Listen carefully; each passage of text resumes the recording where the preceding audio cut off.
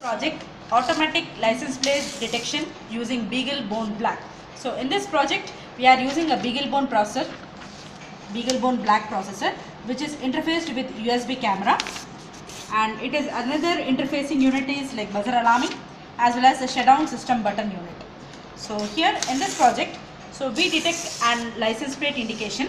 So here as soon as we give the power supply unit to the BeagleBone processor we get an LED indication and the booting process also using the BeagleBone processor and here in front of the USB camera whenever we put any license plate detection number so here you can see AP123 which is a recognized license plate number. So in front of the camera when it captures the image it processes this image and gives an buzzer unit.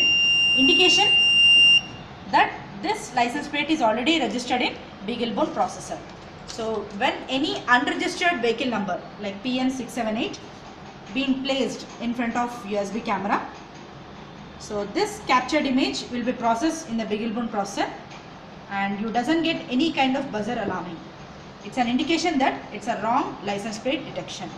So here we have another unit called as shutdown the button system.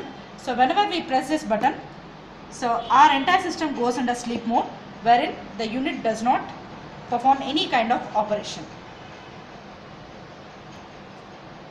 So here you can see the entire system has been shut down.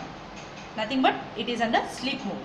So in this way we can automatically detect a license plate and checks with the predefined details entered in BeagleBone processor and if it matches gives a buzzer alarming.